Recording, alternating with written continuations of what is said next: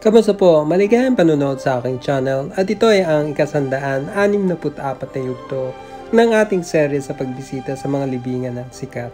Sa yugtong ito tayo bumalik sa Santuario de San Antonio sa Makati upang maghanap ng mga kilalang individual at mga dating sikat na mga artista na nakalibing sa bahaging ito ng Metro Manila. Halika at sumama kayo upang muli nating sariwain, ipagdiwang ang buhay at bisitahin ang huling hantungan ng isang producer ng mga pelikula, mga awit at batikang aktres na lumabas sa maraming mga pelikula mula pa noong 1970s. Matatagpuan sa itaas na bahagi ng Crypt Tree ang huling hantungan ng yumaong veteranong aktres na si Armida Sigyon Reyna. Si Armida Ponce Enrile ay sinilang noong ika-4 ng Nobyembre 1930 sa Malabon. Siya ay isang producer, mga awit at aktres na lumabas sa maraming mga pelikula sa apat na dekada mula pa noong 1973. Si Armida ay kapatid ng dating aktres na si Irma Ponce Enrile Potenciano at dating senador na si Juan Ponce Enrile. Si Armida ay kinasal kay Leonardo Sigon Reyna noong taong 1951 at sila ay may tatlong mga anak. Sa edad na siyam, si Armida ay unang lumabas bilang extra sa pelikula noong 1939 na Yaman ng Mahirap na pinagbidaan ni na Angel Esmeralda, Tito Arevalo, Mercedes Ponce at Antonina Hernandez. Si Armida ay lumabas sa 53 mga pelikula bilang aktres at 15 bilang producer mula 1973 hanggang 2012. Ang ilan sa kanyang mga pagganap sa pelikula ay ang 1973 Babalik Ka Rin na pinagbidaan ni na Alma Moreno at Rudy Fernandez. 1975 sa pagitan ng dalawang langit na pinagbidaan ni na Dante Rivero, Gina Pareño at Maureen Ayavera. 1976 Usigin ng Maysala na pinagbidaan ni na Alma Moreno at Rudy Fernandez. 1977 Bianong Bulag na pinagbidaan ni Ramon Revilla kasama si Charito Solis.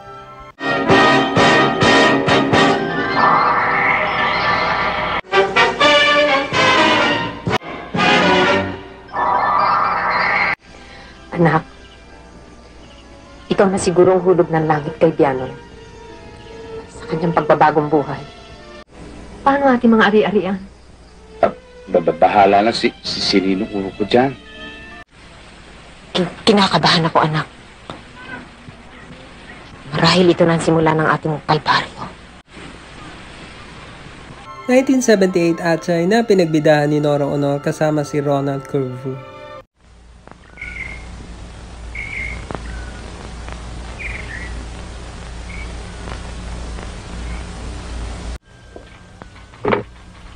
Apex Insurance, good afternoon. Tita? Mrs. Tulio? Oo, ako nga. Bakit ikaw ang sumagot? Eh, bumaba ho si Sir eh. Magmimerienda lang daw siya. Merienda. Ang aga namang merienda niya na. Alas dos media pa lang ah. Matagal na ba siyang bumaba? Mga 20 minutes na ho. 20 minutes. Hanggang ngayon di pa bumabalik.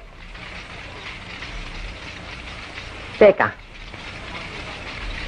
Ang mabuti pa tita, kontakin mo lang yung security guard sa baba.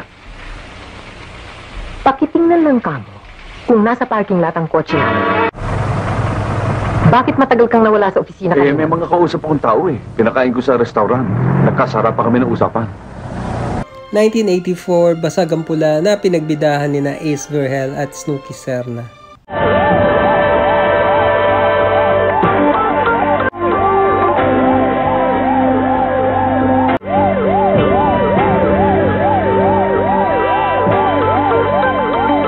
Teacher niyo? Leonida Rivera. Ako ang homeroom teacher ng mga babaeng yan. Nagawa niyo rito? Lieutenant Miranda ho, Homicide Division. Hindi mo pa sinasagot ang tanong ko, Tenyen. Isang sosyal na pulis. Well, Mr. Homicide Division, you have just exhausted my patience. At bakit hindi? Karamihan sa mga estudyante ko sa Quezon City nakatira. Ang eskwela namin sa Makati. Pupunta kami sa Baguio via North Diversion Road. Miss Elizabeth Cordero, ilang beses na kitang inilagpak. Wala ka pa rin kadala-dala. 1985 partida na pinagbidahan ni Fernando Poe Jr. kasama si Miguel Rodriguez. Hello, Frank. Ah. Kayo pala, Daniel Sila. I'd like you to meet my son, si Mayor. Ay. Bobo kayo. Napag-alaman ko, Mayor, na totoo nga pala ang sinasabi mo. Na delikadong pwesto mo kay Serrano. Bukas gaganapin ang eleksyon. Matatalo ka ni Domingo Serrano. Pabayaan mo lang kumilos ang mga bata ko. Aalisin ko ang tinik sa landas mo. Si Ben Serrano. May utang pa siyang dapat bayaran sa akin, Mayor Ledesma. Kapag nanalo si Domingo Serrano, mabubungkalan lahat ng anomaly ang ginawa mo. Pati ng perang kinuha mo sa kaba ng pamahalaan. Magkakaroon ng investigasyon. At lahat ng mga ari-arian mo maaaring mawala sa'yo. Pati mga kaibigan mo, mawawala. Kawawa ka naman. Kapakalungkot ng buhay pagtanda mo. 1997, ligaya ang itawag mo sa akin na pinagbidahan ni Rosana Roses.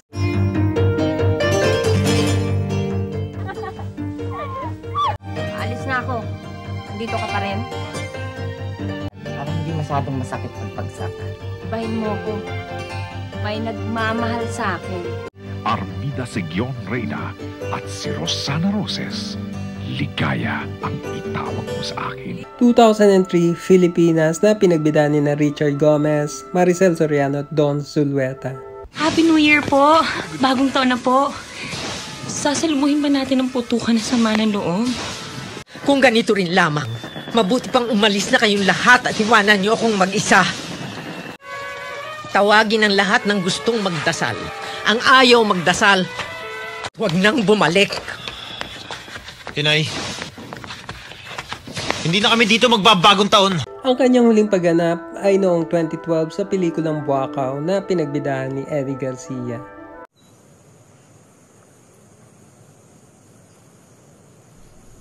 Rene, mahihilingin ako sa'yo. Ano yun? Huwag mo na akong bisitahin dito. Bakit? Gusto kong maalala mo ako ng ganito. Dito may mag-aalaga sa'yo, pero walang magmamahal. Kaya huwag kang susunod sa akin.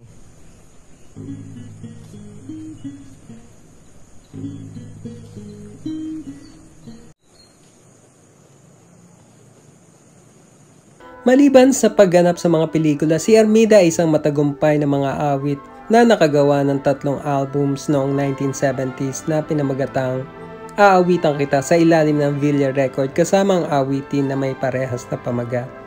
Aawitan kita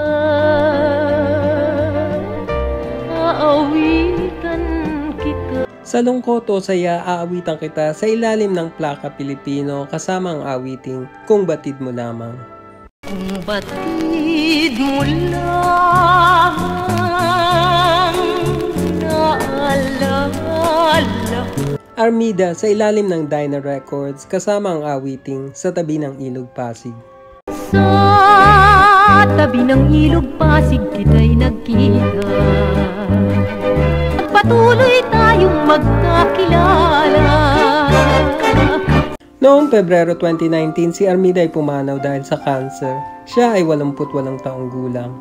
Kasama ni Armida sa kanyang huling hantungan ang kanyang asawang si Leonardo na nauna ng pumanaw noong Disyembre 2010.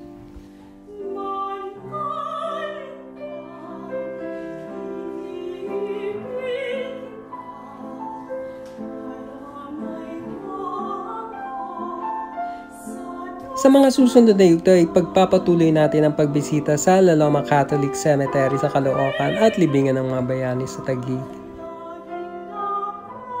Abangan din sa channel na ito at magpo-post din kami ng iba pang mga video sa pagdalaw natin sa Loyola Memorial Park sa Paranaque at sa Marikina. Salamat sa panonood. Maaari lamang na mag-subscribe kung gusto nyo ang channel na ito. Magkita-kita tayo sa ating susunod pang mga pagbisita sa mga namayapang sikat at iba pang personalidad.